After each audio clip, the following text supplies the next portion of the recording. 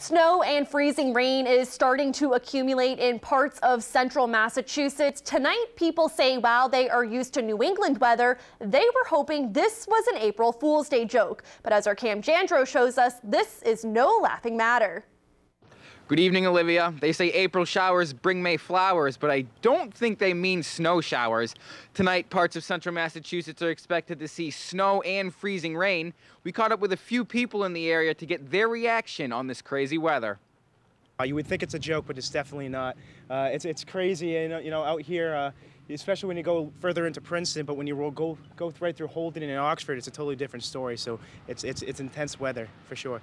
I, am a snowboarder, so like I wish it snowed like it snowed a lot more because you know you would have Wachusett Mountain. I live like right next to it, but yeah, it's definitely definitely hitting us now though. Kind of shocked actually. it's April. It's supposed to be spring right now. Right?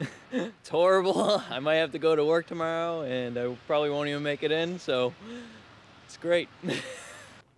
Now, the National Weather Service says northern Worcester County is in a winter storm warning until 4 p.m. tomorrow. Residents can expect to see sleet, snow, and freezing rain. And believe it or not, we have baseball coming on Monday. Olivia, I'll send it back to you in the studio. All right, thank you, Cam. I know we're all